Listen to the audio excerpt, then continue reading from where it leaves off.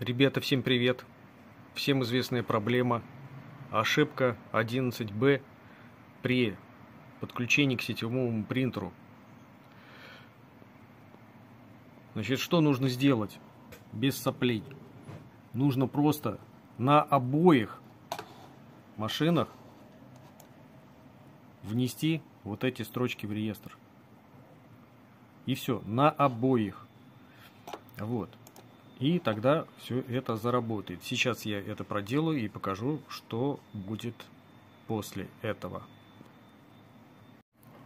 Итак, ребята, продолжаем бороться с ошибками макрософаки.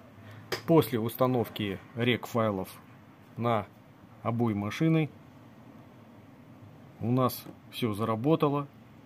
Почему-то этой информации в интернете нет, но теперь вы это знаете.